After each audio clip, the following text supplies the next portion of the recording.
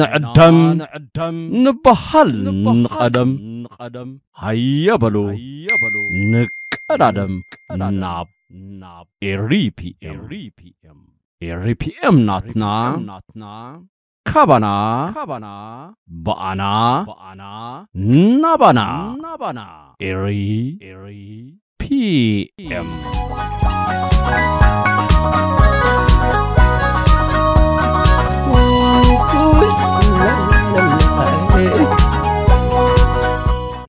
بسم الله الرحمن الرحيم المشاهدون الكرام السلام عليكم ورحمة الله وبركاته. أسعد الله أوقاتكم بكل خير أهلا بكم إلى برنامج اتجاهات من RPM الفضائية المستقلة.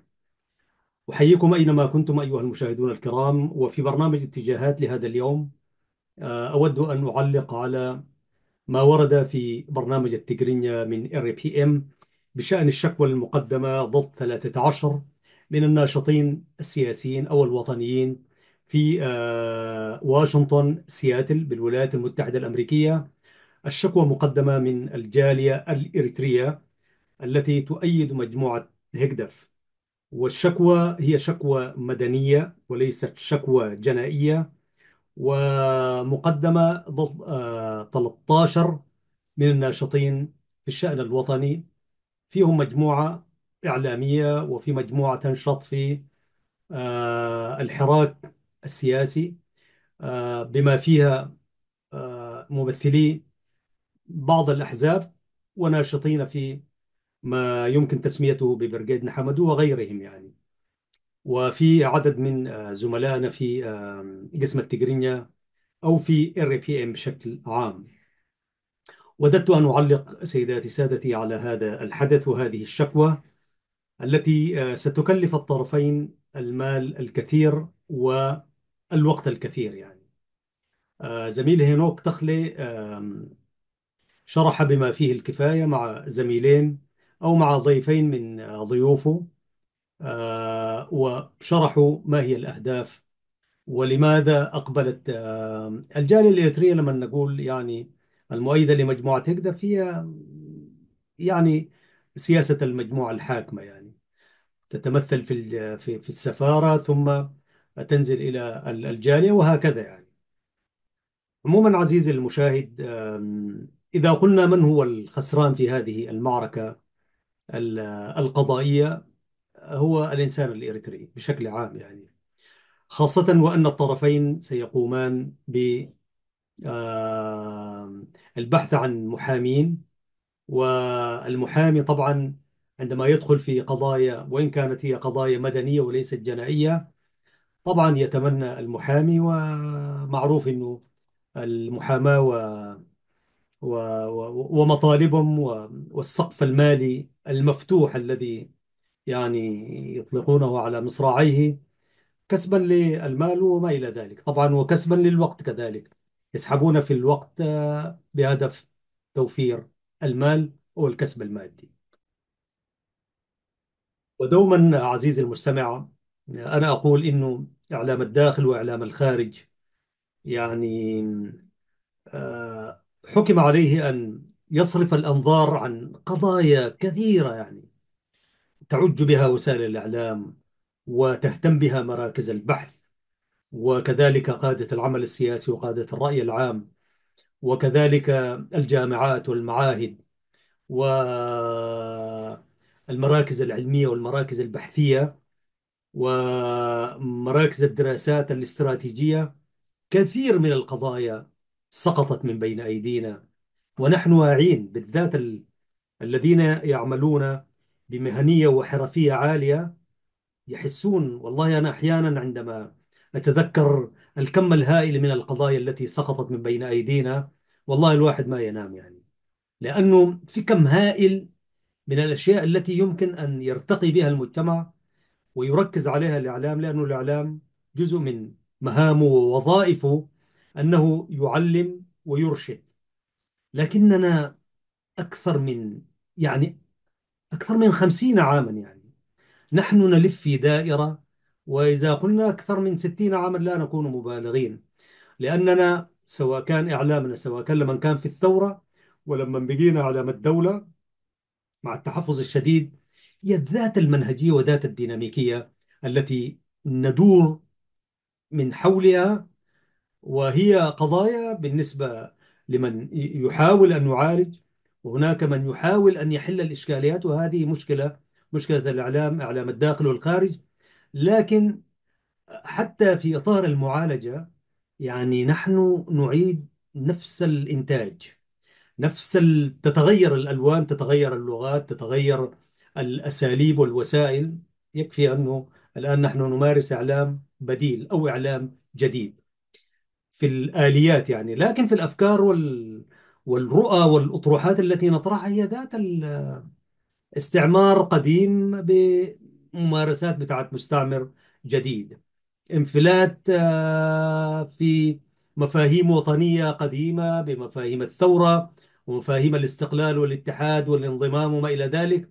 الآن نحن برضو تغيرت تلك المسائل وبقينا يعني نعالج قضايا خطاب الكراهية وقضايا الجهوية وال والعنصرية والمناطقية والإثنية. هي هي نفسها. وبالتالي يعني يحس الإعلام المحترف بوجع شديد. هذه واحدة من الأوجاع الغريبة يعني. نطلع من وجع ندخل في وجع جديد يعني. وإذا ما تساءلنا من من السبب في ذلك؟ أو من هو المتسبب الرئيسي في ذلك؟ كما يقال الناس على دين ملوكهم. ولذلك نحن نتاج هذه الفوضى السياسية التي تعيشها إريتريا. يعني لو نتخيل مثلا يعني لو عندنا مثلا يعني حكومة مقعدة كما يقال حكومة قانونية حكومة دستورية حكومة اختارها الشعب آه، صوت لها. انتهت فترة هذا الحزب يأتي حزب آخر ويتصارع الناس. ذلك ليس الصراع الدامي ولكن التنافس الشريف في آه، مضمار وحلبة السياسة. كثير من القضايا أفكارنا وأشكالنا وقادتنا ورؤانا وشعاراتنا وندواتنا وهجومنا هنا وهناك وحربنا البينية كانت تختلف تماما. فدائما سنيت من طباب حاتة كما يقال يعني كل ما نعانيه نحن كمجتمع هو نتاج الفكرة السياسية التي تحكم هذه آه، البلاد وشعبها. وقد يقول قائل عزيز المشاهد أنه وهؤلاء لم يأتوا من من السماء لم يأتوا من كوكب آخر هم من صلب هذا المجتمع. نعم ما في شك من صلب هذا المجتمع وحتى لو كانت برضو من أصلاب مجتمعات أخرى أيا كانت على كل هم إريتريون يحملون الجنسية الإريترية والجنسية الإريترية طبعا جنسية معاصرة يعني فضفاضة يعني كل من أراد أن ينتمي ينتمي إليها يعني. وهكذا كذلك في دول أخرى يعني الدول الغربية عموما وسياساتها لكن هؤلاء الحكام نعم هم من هذا الشعب. لكن دائما برضو لأنه يعني هذا الشعب سلطته ما موجودة وقراراته ليست في يده وبالتالي يعني لا يستطيع أحد أن يقول إنه هؤلاء القادة اختارهم الشعب. هذه اختيار قدري كده يعني بالشرعية الثورية كما يروج لها كثير من الناس 34 سنة لا يستطيع أحد سواء كان منجم عامل في العلوم السياسية يضرب الكف آه ما عارف آه يقرأ تفسير الأحلام لا يستطيع أحد أن يقول إنه هذه المجموعة الحاكمة. عزيزي المشاهد فلا آه لا يستطيع أحد أن يقول إنه هذه الحكومة هي حكومة شرعية. يعني بكل المقاييس للذين يفهمون حركة هذه المجموعة الحاكمة. يعني هذه المجموعة بعد 95 انتهت شرعيته وصلاحيته القانونية بموجب الاختيار الذي تم في أعضاء من بين أعضاء المجلس الوطني الإريتري رشحوا وصوتوا بنسبة كبيرة للحاكم بأمره دورة واحدة مدتها أربع سنين. تنتهي سنة 95 شوية كده بس لحد ما يفوق الناس 96 بعد 96 كلما بني على باطل فهو باطل يعني. هذا لا يعني أن أننا يعني نتناول ذلك التاريخ تاريخ الثوري. لا ينكر أحد إلا مكابر دور الجيش الشعبي لتحرير إريتريا جيش الجبهة الشعبية لتحرير إريتريا ودورها التاريخي ودورها الوطني أن أوصلت حلم الشعب الإريتري إلى محطة الاستقلال. بكل التضحيات الجسام والتضحيات الغوالي ذلك تاريخ لا يمكن موحو محو أبدا مهما أوتينا من فلسفة ومعارضة وضد هذه المجموعة وغير ذلك. ذلك تاريخ محفوظ. من يستمع وي- ويتعقل قليلا قصص من قصص النضال يؤمن على أن هذه المجموعة يعني فعلا في زمن التحدي والتردي يعني أنجزت إنجاز ما بعده إنجاز. هذه لا ينكرها إلا جاهل بال- بالتاريخ وجاهل بحقائق الأمور. ولكن لا يمكن أن نلوك التاريخ ونقول بحكم ذلك فاعملوا ما شئتم. وعربدوا كيف ما شئتم. واحكموا كيف ما شئتم. اقتلوا شردوا. كل ذلك لا, لا يمكن تبريره. ذلك تاريخ محفوظ. وبعد ذلك من 96 95 ذلك تاريخ لا يتجاهله إلا متغافل. وكما قال الشاعر تصفو الحياة لجاهل أو غافل عما مضى منها وما يتوقع. ولمن يغالط في الحقائق نفسه ويسومها طلب المحال فتطمع أين الذي الهرمان من بنيانه؟ ما قومه؟ ما يومه؟ ما المصرع؟ تتخلف الآثار عن أصحابها حينا ويدركها الفناء فتتبع. هذه حكمة المتنبي يعني. لذلك إلا أولئك الجهلاء الغافلين الذين لا يرون الحياة كيف الحياة السياسية الإريترية يعني كيف تشرق الشمس في في تعرجاتها أو كي أو كيف تكشف الشمس الحقائق الماثلة؟ إلا من في قلبه مرض وعمل. بالتالي ذلك تاريخ. أما ما بعد 95 96 نحن نحتكم إلى القانون والعدل. فأقول إنه بشكل عام كلما وقعنا فيه نحن بفعل مباشر أو غير مباشر بشكل وطني غير وطني باسم السياسة غير السياسة كل ذلك تتحمله هذه المجموعة الحاكمة. وإن لم يكن أنت إذا تصدرت المشهد تحمل ما تقول. بالتالي أنا أقول إنه هذه الحالة الاستثنائية التي نعيشها نحن كإريتريين في الداخل والخارج مسؤولة منها المجموعة الحاكمة. نأتي الآن إلى فحوى الشكوى. فحوى الشكوى إنه الشكوى المرفوعة من الجالية الإريترية في واشنطن سياتل تحديدا بالولايات المتحدة الأمريكية آه، ضد مجموعة برضو إريترية يعني تتهمها أنه يعني كلفتها أو تسببت في آه، إحداث خسائر مادية وغير مادية. ولذلك رفعت ضد 13 من النشطاء الوطنيين سميهم الإعلاميين السياسيين وما بين هذا وذاك. والآن نقول إنه صحيح الناس تعيش في دول مستقرة. يعني هذه الشكوى مرفوعة ضد مجموعة موجودة في الولايات المتحدة الأمريكية من مجموعة موجودة في الولايات المتحدة الأمريكية. ولكن لا يغيب العقل الذي يفكر في ذلك سواء كان بين أسمرة ونيويورك وغيره يعني. ولذلك هذه معركة بين إريتريين. هذه المعركة الإريترية ستكلف المال وتكلف الزمن والوقت والجهد والتفكير. طبعا هناك أجندات خفية آه، شرحها زميل هينوك. ولذلك أنا أقول نحن آه، نناقش الفكرة من حيث هي. يعني لماذا دخلنا هذا المستنقع؟ نخرج من شكوى ندخل في شكوى. والأهداف طبعا هي معروفة يعني هذه المجموعة لماذا تتحرك؟ والمجموعة التي ستدافع طبعا برضو حتبحث عن آه، مبررات ومسوغات وأنا أعتقد أنه ب ب ب ب ب بعرف الخسائر وال وال والماديات إذا ما من الذي تسبب في في خسارة آه، الآخر؟ وكيف يمكن تحديد تلك الخسارة؟ الخسائر المادية إريتريا ماذا خسرت؟ لو سألنا بس هذا السؤال.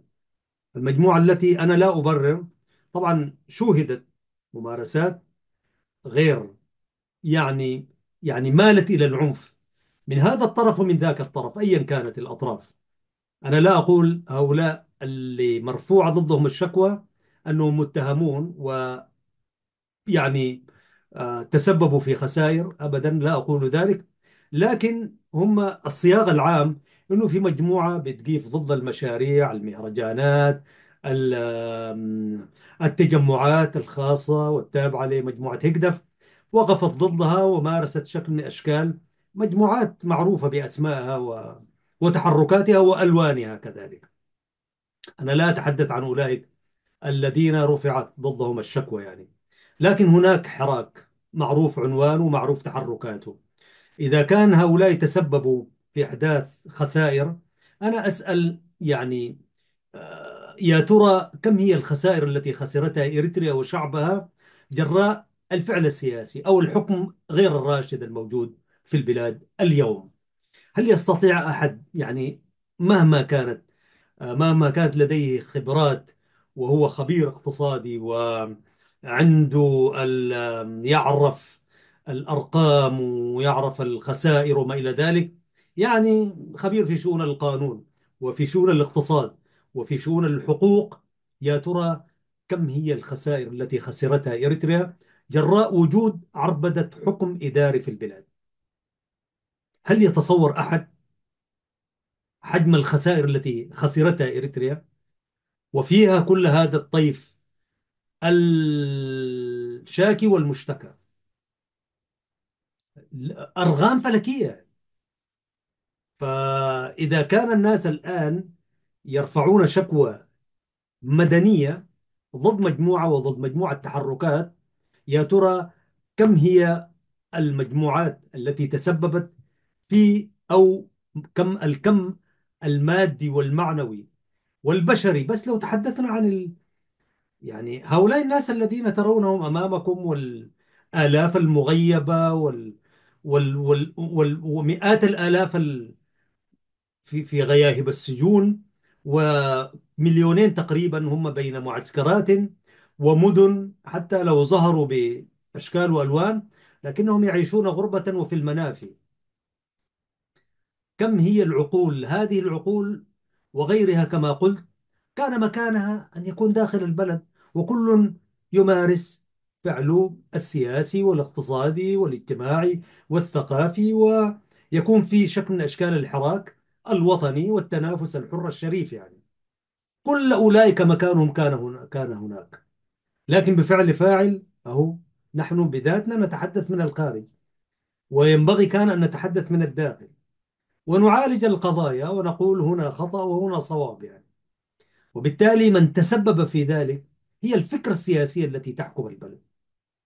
الفكرة السياسية والفكرة الإدارية التي لا تسمع للآخر. التي لا تعني بالنسبة لنداءات الآخرين وحقوقهم وتطلعاتهم لا تعني لها شيء أبدا.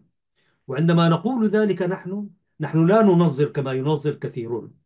نحن نتحدث عن وقائع ومنطلقين من وقائع عشناها ليس ليوما واحدا أو يومين أو شهر عسل أو غير ذلك. نيف عشرة ستاشر عام وشيء قل سبعة عشر عام.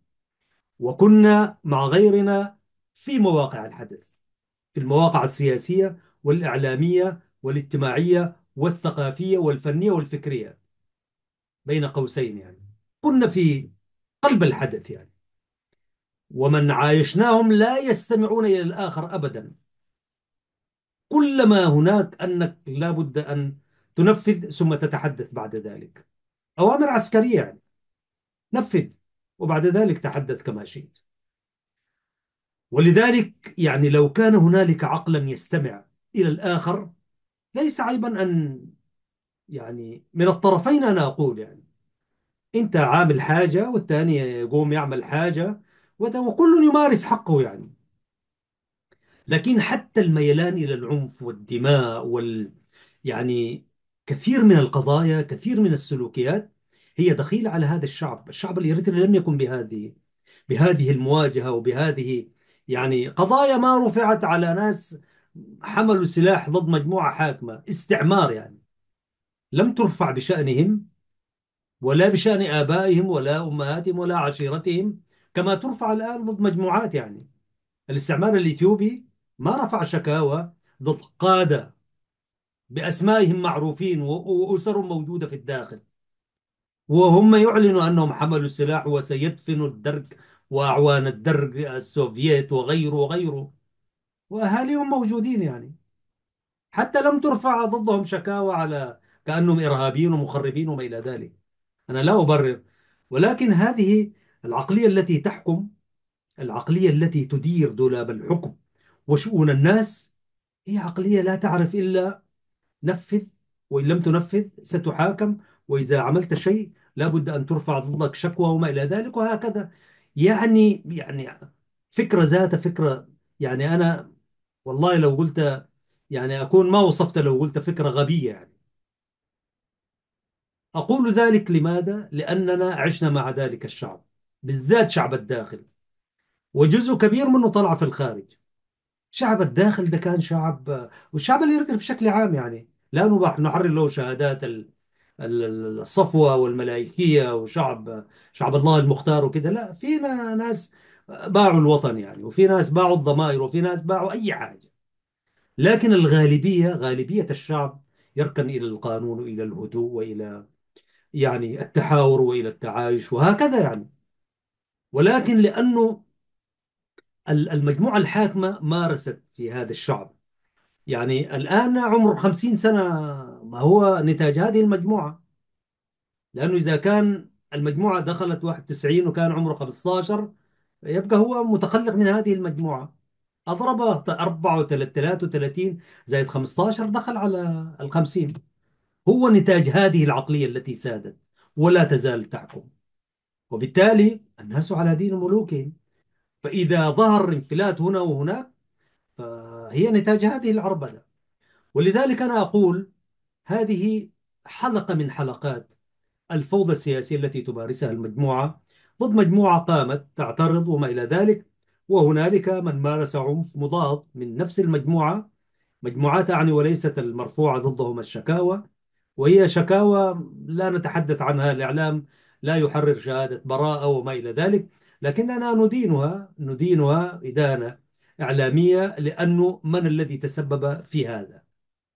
ومعقول بالله مجموعة يعني جالية إريتريا هي تفرغت لترفع شكوى ضد مجموعة يعني كبتتها خسائر مادية وما إلى ذلك. هي فكرة المستعمر يعني فكرة الحاكم بأمره فكرة المحتل يعني. وكتار يقولوا لي كيف تقول ذلك على مجموعة؟ أنا لا أنكر نضال الثوري ال- الذي سبق كما أشرت إليه. ولكن الممارسة التي تمارسها هي ممارسة استعمارية وفاقت ذات ممارسة المستعمر. كنت في يوم من الأيام أسميه المستعمر الوطني. هذا غيرناه بذاته. هي فكرة استعمارية بحتة يعني. ولذلك أنا أقول الناس لا بد أن ترجع وترجع مثل هذه القضايا وغيرها إلى المسبب الرئيسي.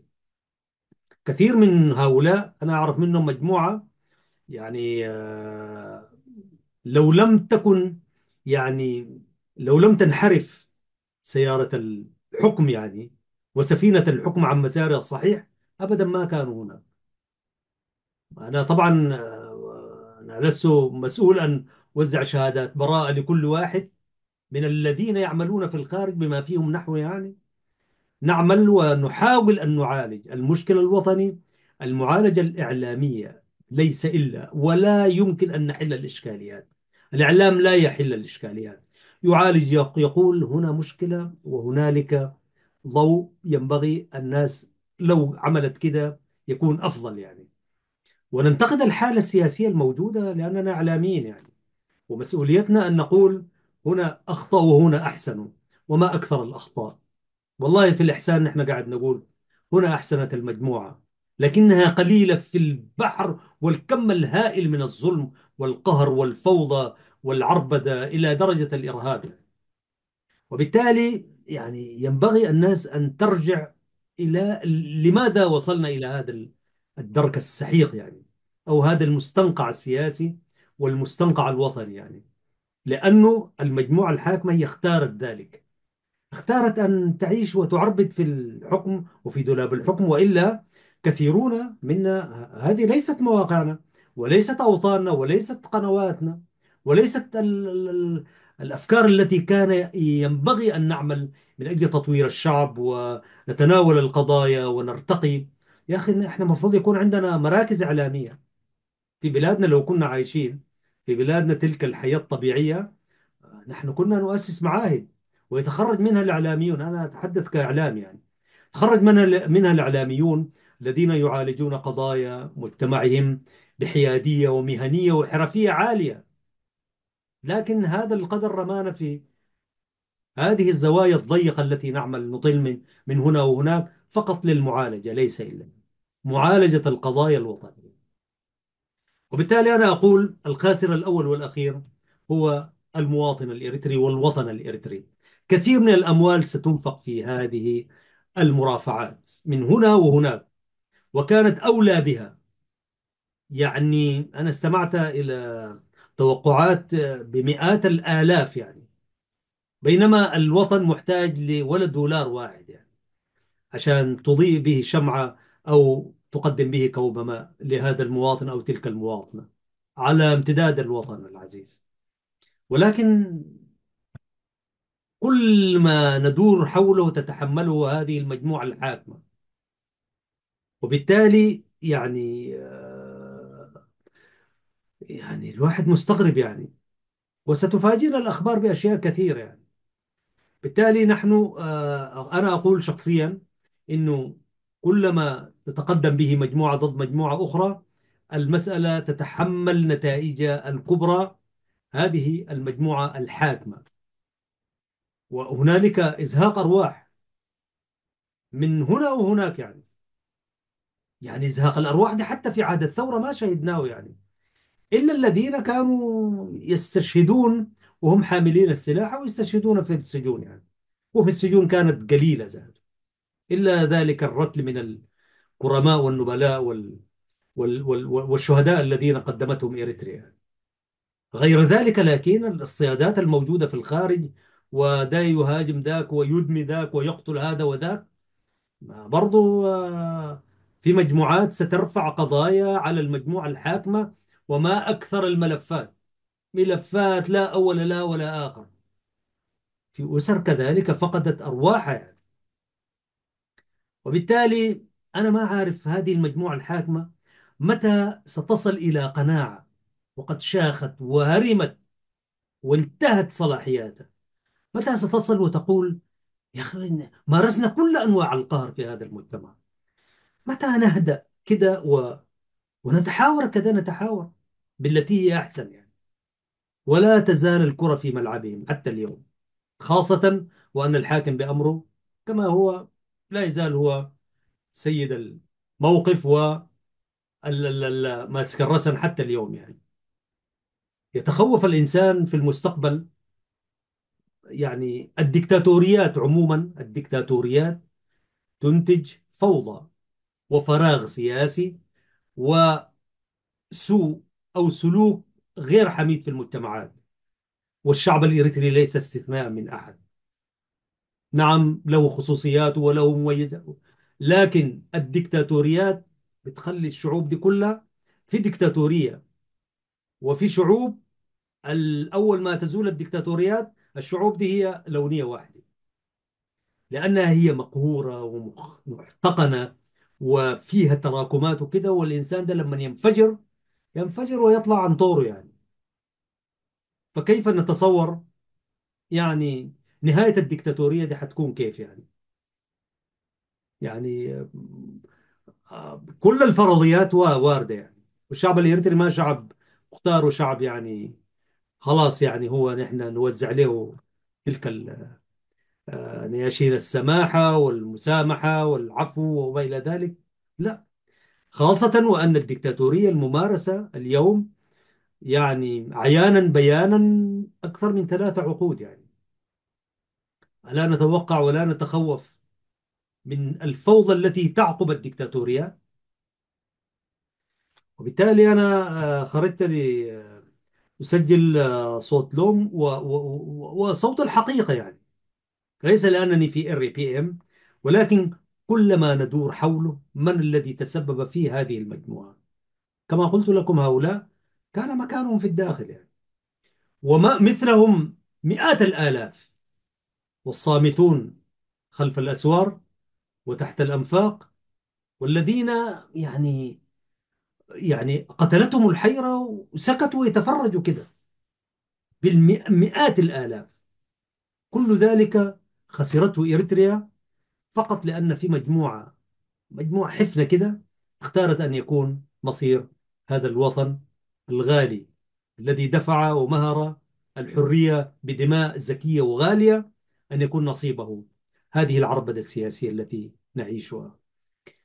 آه سنتابع كيف تسير أمور آه الشكوى المدنية المرفوعة ضد 13 من الناشطين الوطنيين والسياسيين في واشنطن سياتل بالولايات المتحدة الأمريكية.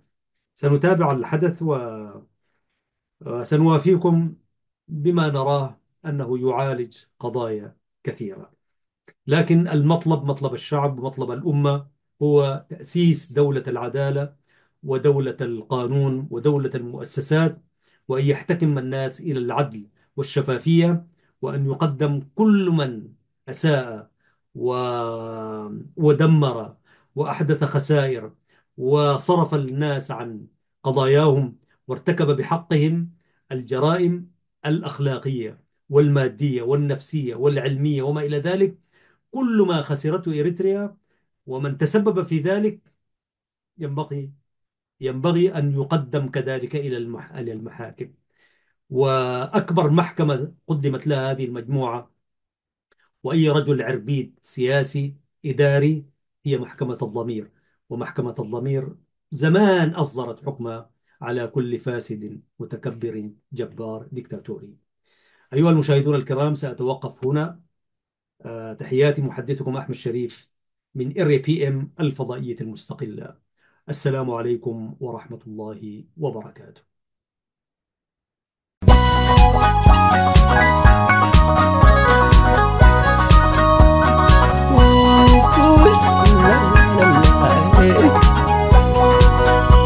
ننا نعدم نبحل نقدم. هيا بلو. نقدم. ناب. إريبي إم إريبي إم ناتنا. كبنا بأنا. نبنا إري بي إم